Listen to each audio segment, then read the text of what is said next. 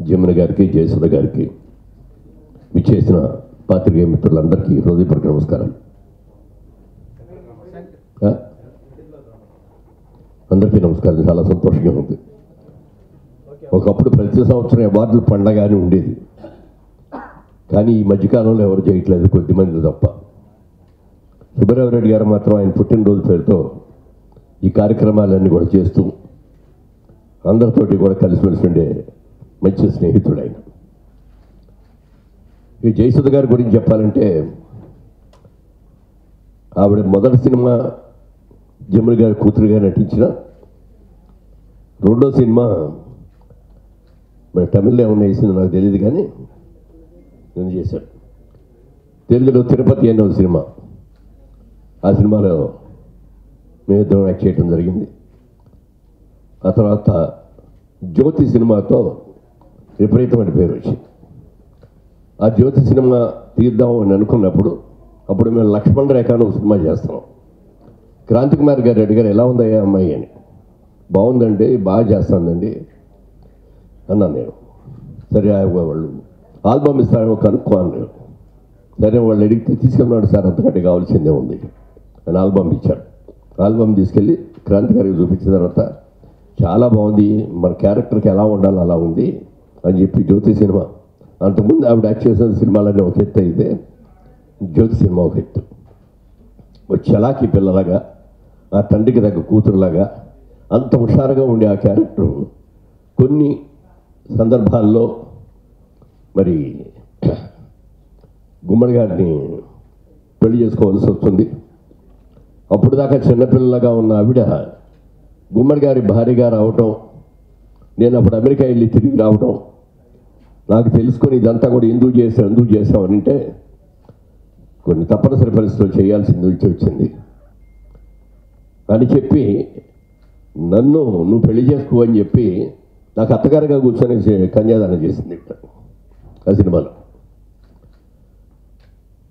తర్వాత ఇంచుమించుగా మా సినిమాల్లో చాలా సినిమాల్లో ఆవిడ హీరోయిన్ యాక్ట్ చేశాడు జయసుధ గారిలో ఉన్న గొప్పతనం ఏమిటంటే ఆ క్యారెక్టర్లోకి వెళ్ళిపోతారు.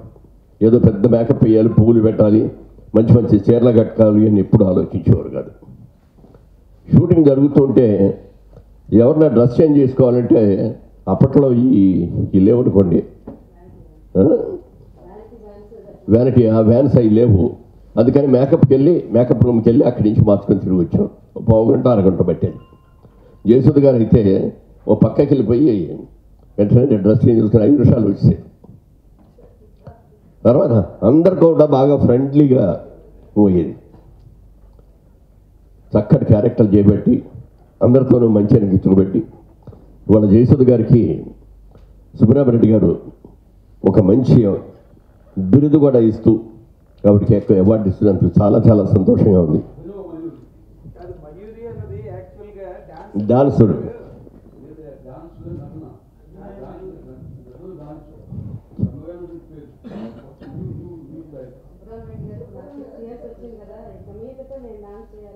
అది ఇప్పుడు జమున్ గారు చూడండి ఇప్పటికీ కూడా మీరదారగరడానా డాన్స్ చేశారు అని మొన్న డ్యాన్స్ చేశారు అది మొత్తం వైరల్ అయిపోయింది. చంద ఎక్కడ చూసినా వాళ్ళు ఓకే. Okay, okay. చాలా సంతోషం. రాబోయే రోజుల్లో సుబ్రహ్మరెడ్డి గారు ఇలాగే ప్రతి వాళ్ళకి కూడా అవార్డులు ఇచ్చి మరి ఆ వరుసలో నేను కూడా ఉన్నాను కాబట్టి నాకు కూడా అవార్డు ఇవ్వాలి అని కోరుకుంటున్నాను. ఎందుకంటే జయసుధ గారి రెండో సినిమా దగ్గర నేను జాయిన్ అయ్యాను సెవెంటీ త్రీ అంటే అది ఒక నలభై ఏడును ఇది ఒక పంతొమ్మిది. ఎంత ఉంది నలభై ఏడు కాదు ముప్పై ముప్పై మూడును పన్నెండు పంతొమ్మిది. సరే ఎందుకంటే ప్రభుత్వం సరి అవార్డులు ఇవ్వడం కూడా పోయింది ఈ మధ్యకాలంలో. గత ప్రభుత్వంలో వాళ్ళు కానీ ఈ ప్రభుత్వం వాళ్ళు కానీ ఎవరు నంది అవార్డ్స్ అనే దాని గురించి ఎవరు పట్టించుకోవటంలా. అది పట్టించుకోవాల్సిన అవసరం ఉంది అది. ఒక ప్రెస్టీజియస్ గవర్నమెంట్ ఇచ్చే అవార్డు అంటే చాలా గొప్పగా చెప్పుకుంటా ఉంది. నంది అవార్డు వచ్చింది నాకు మరి మరి అలాంటి నంది అవార్డులు ఎనిమిది సంవత్సరాలుగా ఎవరికి ఇవ్వట్లా. దయచేసి అది ఇప్పటి ప్రభుత్వం అయినా దాన్ని గుర్తించి ఈ గత నాలుగు సంవత్సరాలుగా ఉన్న ఇటువంటి పాత ఎన్ని కూడా ఇవ్వాలని మనస్ఫూర్తిగా కోరుకుంటూ Hi, this is Sandeep Kishan. Please subscribe to Mirror TV. Hi, everybody. This is Tarun. Please subscribe to Mirror TV. Please subscribe to Mirror TV. Please subscribe to Mirror TV.